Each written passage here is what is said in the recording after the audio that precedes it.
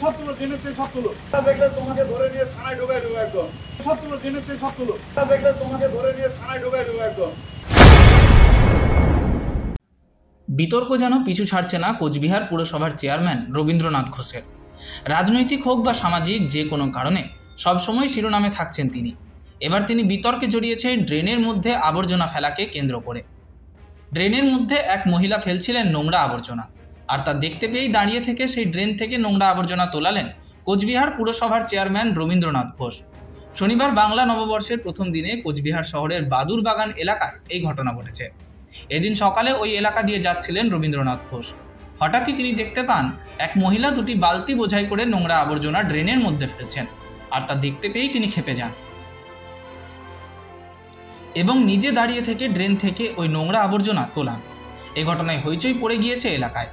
যদিও কোচবিহার পুরসভার চেয়ারম্যান রবীন্দ্রনাথ ঘোষ বলেন, ড্রেনের মধ্যে নোংরা আবর্জনা ফেলা একদমই ঠিক নয়। ওই মহিলাকে তাই নোংরা আবর্জনা তুলে ফেলতে বলেছি আমি। ড্রেনটা কি নোংরা ফেলার জায়গা নাকি? একজন ড্রেনের মধ্যে নোংরা ফেলছেন দেখলে আরও অনেকে এসে এবার ফেলতে শুরু করবেন। তাতে ড্রেন আটকে গিয়ে জল জমে যাবে। আর সব দোষ হবে পুরসভার যে কাজ হয় না। নোংরা ফেলার জন্য পুরসভা নির্দিষ্ট জায়গা করে রেখেছে। সেখানে গিয়ে নোংরা ফেলে আসা উচিত। অনেক জায়গায় বাড়ি থেকে পুরসভায় সাফাই কর্মীরা এসে নোংরা নিয়ে যান। তাদেরকে দিন। কিন্তু দয়া করে যত্রতত্র ড্রেনের মধ্যে বা যে কোনো জায়গায় বাড়ির নোংরা আবর্জনা ফেলে দেবেন না। এতে পরিবেশ দূষিত হয়। এদিকে রবীন্দ্রনাথ বাবুকে সমর্থন জানিয়েছেন এলাকার বাসিন্দারা। স্থানীয় এক বাসিন্দা বলেন, উনি একেবারে ঠিক কাজ করেছেন। ড্রেনের মধ্যে এভাবে সবাই নোংরা ফেলতে থাকলে ড্রেন আটকে যাবে। তাতে রাস্তায় নোংরা জল সব উঠে আসবে। এর আগে বিরিয়ানির দোকানে অভিযান চালাতে গিয়ে হইচই ফেলে দিয়েছিলেন রবীন্দ্রনাথ ঘোষ।